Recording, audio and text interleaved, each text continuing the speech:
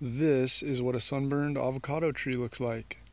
It's July 8th, 2018. Um, we're here in Southern California and we just went through the worst heat wave um, on record for most places, including where I live in inland San Diego County. And a lot of avocado trees got burned. So let's have a look at some. You can see the top new growth, the fresh growth got burned the worst. This is the southwest side of the tree that's most exposed to the sun. So this is where most of the sunburn happened. Here's an older leaf that got scorched.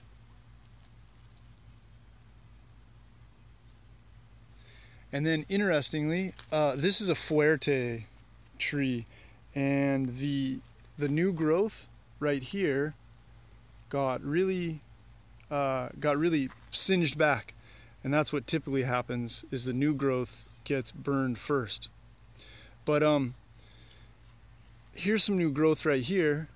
And it's from a, a little graft of a Pinkerton the Pinkerton variety that I made into the tree. And the new growth on the Pinkerton is uh, is pretty good looking. There's only a tiny bit of singeing right here. Um, makes me think that maybe Pinkerton is a little more tolerant to heat than Fuerte. But uh, we'll have a look at my Pinkerton tree in a minute and that might change your mind. So hold on. Look at this sad little Pinkerton. It probably took it the, the heat the hardest out of all my trees. Looks pretty terrible. Look at all those burned leaves and the new growth is just hanging down, wilted, and there's burnt branches. The problem is the the Pinkerton is a pretty droopy and small kind of weeping variety and it's it seems in my experience just really prone to sunburn in general. Um, I say that from this tree and from other Pinkertons that I that I know and uh, and have grown. So, you know, like this, I, I this branch has been drooped for a long time, and I painted it, and uh, you know, it's just still exposed to the sun. There's still nothing covering it from a year or two ago, and uh, so it's it's just not. It didn't it didn't do very well in in the record heat. Here's a Hass tree. Let's see what it looks like. Here's some uh, scorched leaves there. And this is the west side of the tree. It's not it's not too bad and it's still got um still got some some fruitlets that look totally fine, so that's nice. Um, but the, the leaves definitely, I guess, took the, the heat and it's got some crispy leaves here and there. But it's mostly single branches. It's not, it's not, it's not really the whole tree. So it actually, it's a pretty healthy tree and it stood up fairly well to the heat, I guess. This is a young Nimlioh and uh, it, it did not stand up well at all. This is probably the weakest of all the varieties in my yard.